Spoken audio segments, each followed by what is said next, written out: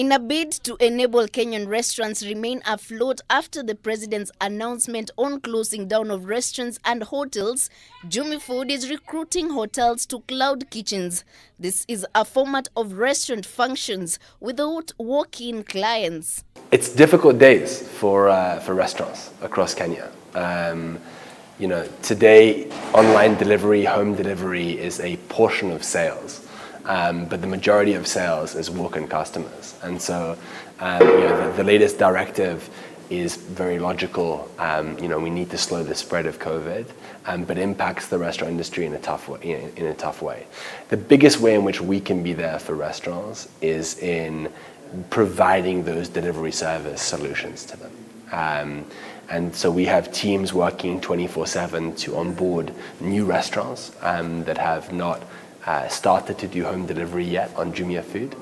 Um, we have teams working, you know, all the time to help them get set up, to give them the training on how to do it and deliver a good customer experience, so that they can, you know, stay active and, and, and keep hiring people, which is which I think is the, sort of the biggest the biggest thing that we're all working towards is sort of saving jobs here. To promote restaurants joining the app, and those already in, the app has introduced Food Fest. Yeah, so Food Fest is on right now. Um, so it's sort of a um, little festival to really support restaurants. Um, so all of the restaurants are offering great, great value.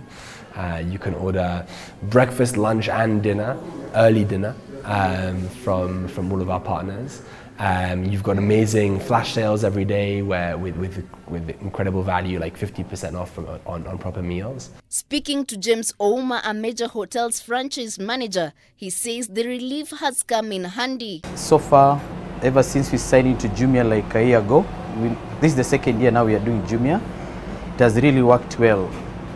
Bear in mind with the new COVID rules, people are not coming, walking into the shop. People are focusing on delivery only. Initially, it was doing like 40% before COVID, but when COVID now came in and the new norm changed, now we are too much on Jumia online ordering. And I can actually say it's really helping in our business to grow.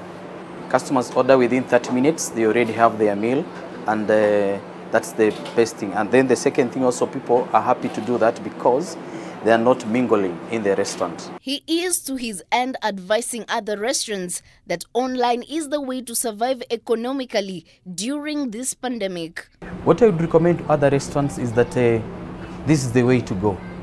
They need to onboard Jumia because actually Jumia they have a bigger database of customers and they make your business grow. And that's the only way to go because people are scared to come inside the restaurants. So you could encourage them to onboard Jumia. What I would recommend to other restaurants is that uh, this is the way to go.